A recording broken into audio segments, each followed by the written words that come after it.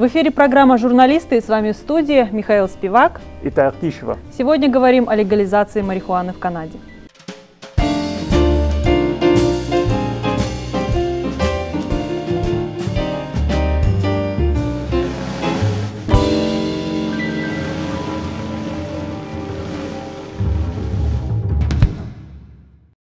Итак, уже с 17 октября в Канаде можно будет свободно продавать и приобретать марихуану. Власти страны считают, что это позволит уничтожить черный рынок каннабиса и снизить уровень его употребления среди подростков. А, хорошая новость, как считаете? Миш, а как ты думаешь, это хорошая новость? Э, пока что я не вижу логики между легализацией марихуаны и снижением уровня его потребления. Наоборот, я считаю, что если она станет доступна любому и каждому, то это приведет как минимум к росту. Я не знаю, будет ли это катастрофический рост или нет, но он должен произойти. Ну а как насчет того, что все запретное хочется попробовать? Здесь марихуана будет в принципе доступна каждому, если ты ее легально покупаешь. Может быть, это сыграет на снижение количества случаев употребления марихуаны среди подростков? Я бы так не сказал, не думаю. Потому что Наркотики известны уже многие тысячи лет. И никогда это не было эпидемией. Их доступность никогда не была причиной, скажем так, распространения. Распространение происходит и употребление из-за, скажем так, идеологии некоторой в среде молодежи. Если это модно, они будут употреблять наркотики. Как, как с курением, допустим. В какой-то момент это стало модно, это стало принято, и люди стали э, стали приобретать табачные изделия. Вот вспомните даже в прошлом, да и сейчас, продажа табачных изделий до какого-то возраста. Угу. Не, не случайно. Просто потому что курение модно.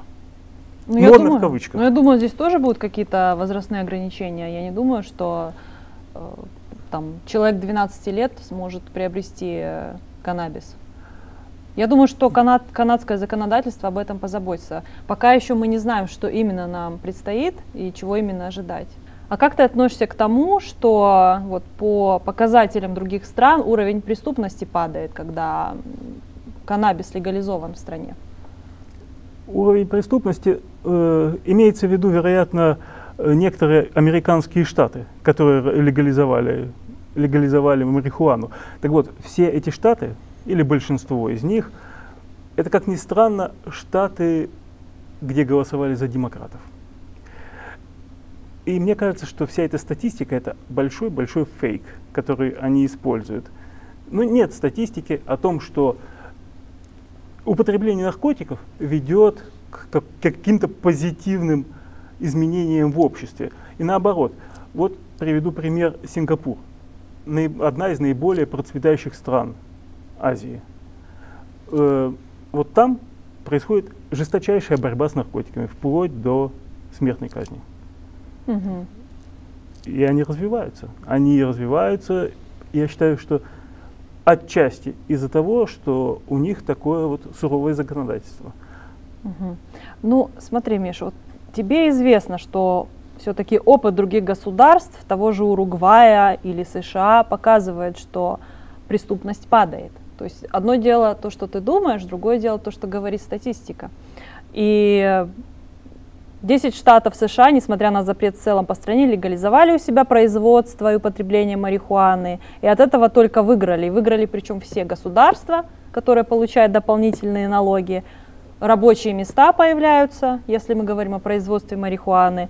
И уменьшение криминалов в пограничных с Мексикой штатах чем проблема? Я не понимаю, в чем сложность состоит? Почему все-таки ты не согласен с этим? Сложность в том, как я сказал, э, что это фейк, то, что они говорят, это не, неправда, это не может быть правда, я объясню почему. Сначала мы сначала просто и будем использовать сначала логику, а потом перейдем к доказательствам. Логика о чем говорит? Если бы наркотики были безопасны или даже полезны, то их бы как картошку легализовали бы повсеместно все-таки есть какие-то причины, почему большинство, подавляющее большинство стран и тех же американских штатов против легализации наркотиков.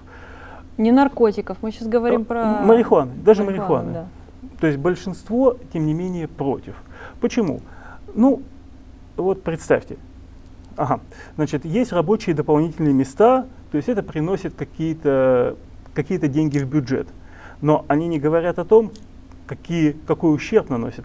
Допустим, произошло дорожно-транспорт, произошло дорожно-транспортное происшествие человека, который под кайфом, угу. который накурился. Значит, что происходит? Во-первых, это ущерб имуществу людей, это ущерб здоровью, это потеря временной работоспособности.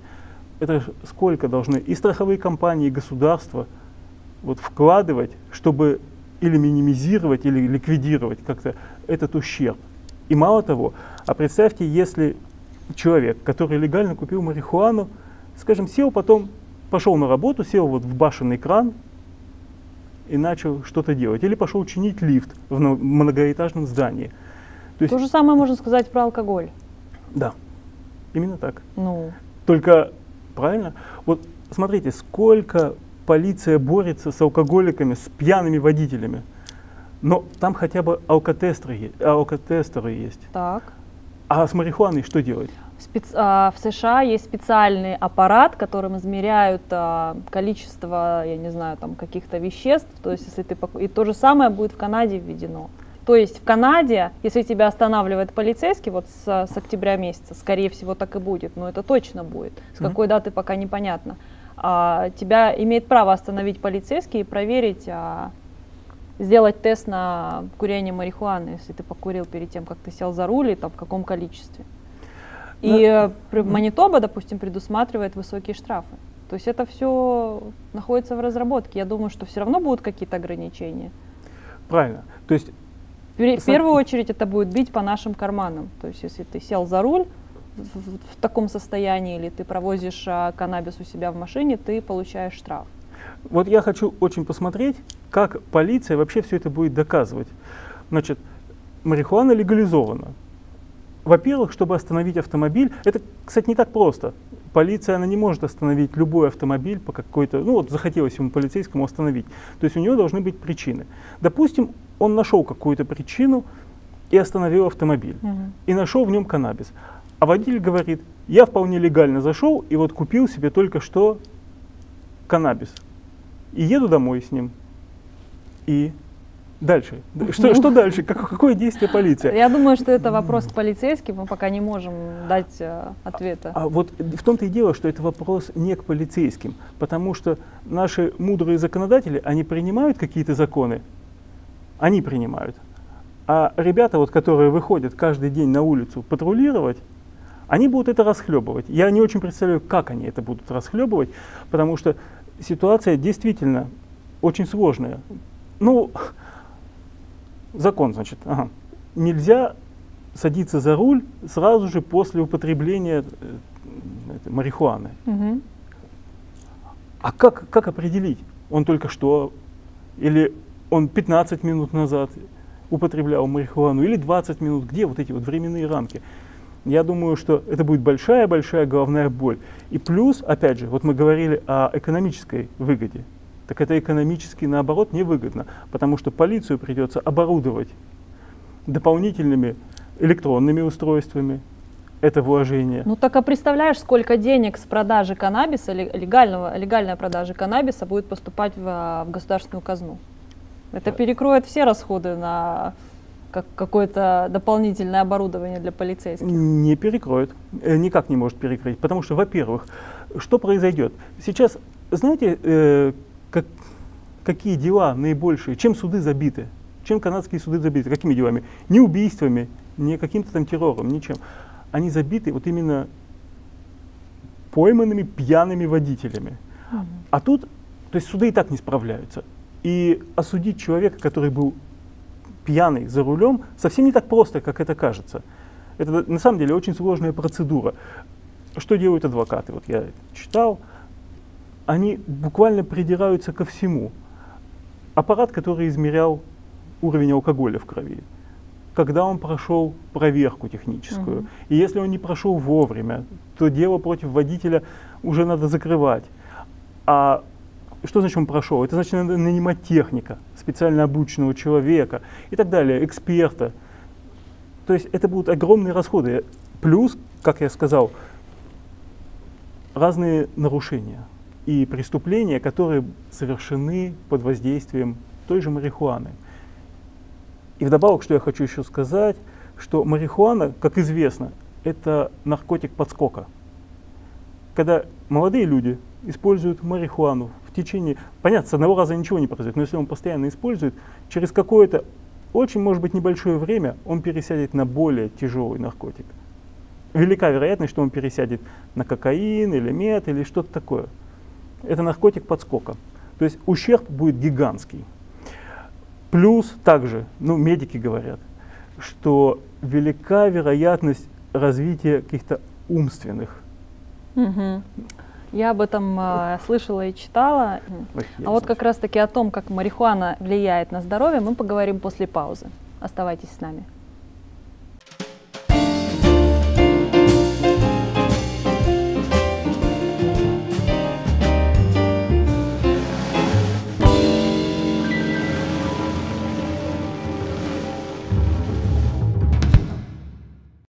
Вы смотрите программу «Журналисты». Это Тайр Тищева и Михаил Спивак. И мы продолжаем разговор о легализации марихуаны в Канаде.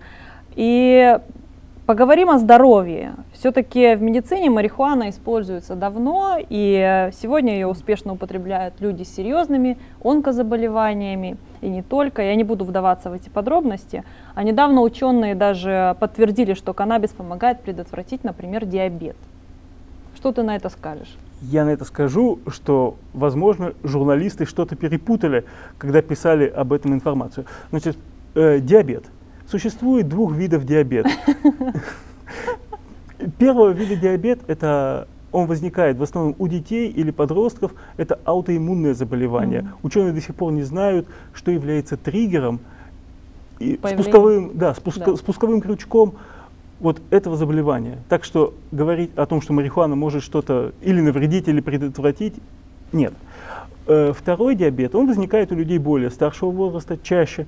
Но, как правило, он возникает из-за ожирения. Угу. И опять же, марихуана к этому не имеет отношения. Ш о чем может идти речь о диабетической ретинопатии? Это такое состояние человека, ну, грубо говоря, из-за повышенного сахара в крови возникают вздутие и какие-то как опухоль в, в глазной сетчатке. Mm-hmm. И да, марихуана, она действительно может как-то снять отек. Марихуана может использоваться как обезболивающее вещество. Это правда. Но как любой такой препарат такого свойства, марихуана должна быть строго прописана врачом и на какой-то определенный период лечения. Угу. Это не то, что должно быть свободное использование. Да, марихуану можно действительно использовать в медицине под надзором врача. Ты знаешь, а врачи говорят, что некоторые используют марихуану вместо Виагры. Вот уж чего не знал, того не знал. Ну, э, с другой стороны, э, Одни плюсы. Немножко, ну, может быть, каким-то престарелым товарищам это и поможет, я не знаю. Разве что ориентироваться на эту категорию граждан. Э, но, с другой стороны, вот о чем мы говорим, что э, марихуана, она приводит как к некому подавлению успокоению. Mm-hmm. То есть вряд ли, Виагра, мне кажется, это некое обратное свойство. Ну, я не знаю. Не знаю. Я не сильна в медицине. Не знаю, в, это, в этом вопросе мне трудно что-то сказать. Ну, по крайней мере, ты согласен с тем, что легальная продажа сократит черный рынок сбыта марихуаны в Канаде? Реаль, э, я знаю, что легальная продажа, она приведет к тому, что наше государство наше правительство замечательное, которое э, на всякие свои авантюры разбазарило госбюджет, станет главным драг-дилером на этом рынке. Вот что произойдет. То есть им мало, скажем так, э, наших налогов, они еще хотят получить и долю в наркотрафике. Угу. А, насколько я знаю, не только государство будет продавать марихуану онлайн, но ее можно будет также купить и участников. Вот, об этом я тоже упоминала в одном из выпусков наших, э, наших программ. Ну и чем это отличается ну, от тех участников, которые сейчас только нелегально продают? Ну мы посмотрим, как это будет работать на самом деле. Я думаю, что легализация марихуаны не означает, что найти ее можно будет за любым углом. А вот, например, в провинции Манитоба уже опубликован список нарушений, связанных именно с будущей легализацией, за которые придется отвечать и дорого платить. А, вот послушайте, если ты решишь угостить травкой человека в возрасте до 19 лет или попытаешься вырастить кустик каннабиса у себя дома, то тебе придется заплатить 2542 доллара. Так. Курение травки в провинциальных парках обойдется в 672 доллара. Если каннабис найдут у тебя в машине, 237 долларов. Тебя остановил полицейский, и ты только что покурил, 672 доллара. Ну и так далее. То есть ограничения все-таки имеются. Я ну, думаю, что не каждому захочется брать на себя такой риск и выкладывать несколько сотен канадских долларов за какое-то сомнительное, сомнительное удовольствие. Ну, во-первых, довольно смешные цифры, потому что э, не две с половиной тысячи, не 2600, а 2542. Э, э, ребята, которые придумывали этот закон и высчитывали уровень штрафа, они, наверное, очень сильно затягивались и пускали в потолок клубочки дыма. Ну, откуда такое? Ну, но неважно. А если серьезно, мы уже говорили про машину, да? Значит, человек пришел, купил каннабис, едет себе домой, его останавливает полицейский. Что такое, почему у вас в машине каннабис? Да потому что я его только что купил. Еще вопросы есть, офицер? Нет, до свидания. Это во-первых. Во-вторых, угостил кого-то младше 19 лет. Фактически продал кому-то, кто младше 19 лет. Угу. Распространил. Распространил. Незаконно, нелегально да. распространил. Да. И как же полицейский будет доказывать, как вот он докажет, что этот молодой не нашел где-то рядом с аптекой или где там они будут распространять, не, не купил, как они вообще, полицейские, будут. Я говорю, нашей правоохранительной системе это добавится огромное количество головной дополнительной боли. У них и так хватает всякой головной боли с нелегализованной марихуаной и, и прочими наркотиками. А сейчас они просто полицейские просто не смогут доказать. Что значит только что покурил? Только что это, я говорю, 10 минут назад, это 20 минут назад, полчаса назад. Понятие очень растяжимое. Те, кто придумывают законы, они мыслят глобально, они в детали не вникают. Угу. А зря, потому что в деталях как раз и кроется сам дьявол. Ну что ж, я не верю в то, что полный запрет на употребление решит проблему. Я так понимаю, что ты адвокат именно этой позиции, Миша. Вот. В странах, где марихуана запрещена, ее пробовал каждый первый. Я не считаю, что э, при помощи одних только запретов полиции или судов можно решить проблему наркомании. Наркомания – это социальная проблема, это такой социальный вирус. Мы же сейчас не говорим о наркомании. А это наркомания. Это скажем так, дверь в наркоманию, дверь в большой мир грез. Э, опять же, вот взять наркоманов, взять э, тех же любителей, скажем, употребителей марихуаны. То есть э, это человек, который не хочет взрослеть. Что такое употребление вообще наркотиков? Любо, любых наркотиков, будь то марихуана или более тяжелые наркотики. Это попытка убежать из нашего мира убежать от ответственности. Не заводить семью, не работать, сидеть где-то на велфоре или там на каком-то пособии, или по минимуму работать. Вот что такое наркомания. Наркоман – это личность как минимум асоциальная. Это как минимум, если не социопат. То есть, и когда эта проблема становится массовой, то тут полиция это только полиция, суды, карательная система. Это только одна часть. Это как вот отделять от здоровой плоти зараженную, но лечить, конечно же, это система образования, система воспитания, это законы какие-то, которые поощряют, может быть, там, спорт для молодежи, какие-то устремления. Mm-hmm. Скажем, э, в первой половине 20 века не было такой прям наркомании. Почему? Потому что в обществе была некая цель. В той же Америке, вот возьмем Америку, тех лет, первой половины 20 века. Что было тогда, ну как бы считалось здорово, важно? Это был парень из глубинки, который приехал в большой город и добился. Ну, большая американская мечта. Большая американская мечта. С конца 60-х, примерно начала 70-х годов, культура каким-то образом подменилась антикультурой. То есть вот выступление хиппи, давай наркотики, личность превыше общества и так далее. И вот сейчас это просто продолжение mm-hmm. той истории, которая началась там 40 с лишним лет назад. Ну, давай Но ну, поговорим об этом, поговорим об этом спустя несколько месяцев. Сейчас просто понаблюдаем, как это все будет развиваться и как это отразится на обществе. Может быть, ты изменишь свою позицию или я поменяю свою. Поживем, увидим. И спасибо тебе за интересную дискуссию. С вами были Тая Артищева и Михаил Спивак. Вы смотрели программу «Журналисты». Смотрите канал РТВ.